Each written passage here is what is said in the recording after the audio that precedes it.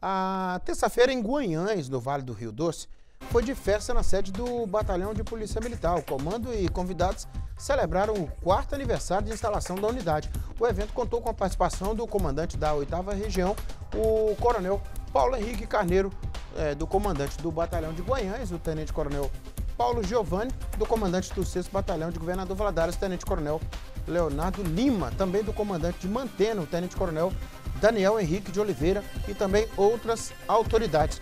Durante a cerimônia, cerimônia a homenagem prestada aos parceiros de diversos segmentos, entre eles TV Leste, representada é, pelo diretor da TV em Foco em Sabinópolis, Pedro Ávila, substituindo o diretor Albuquerque Júnior. Está aí, obrigado a todos do 65º BPM, né?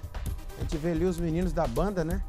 É Rota 65 aparecendo ali. Obrigado pela homenagem à TV Leste. Agradeço em nome aqui do Albuquerque Júnior, né, nosso diretor de jornalismo. E agradecer o Cacau, o Pedro Ávila, que representou o Júnior lá, né? Valeu demais. Obrigado, viu, gente?